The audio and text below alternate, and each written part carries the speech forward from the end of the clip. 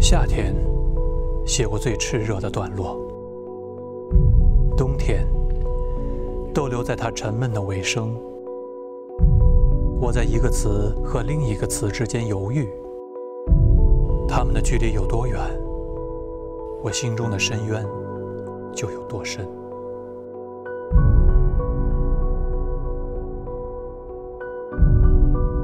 秋天太短，短的就像一个人的转身，来不及寄出的兴致沿街飞舞，那些未能说出的话，每一天都在重新组合，就像散步时天空变幻的树枝。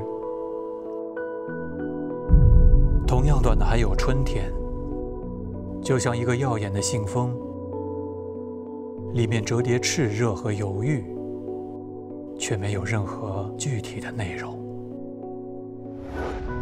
多数时候，我是没写出的部分，不在信纸，也不在信封里。我是信开始前那激动的空白，我是诉说的喧哗下面河床的。深深沉默。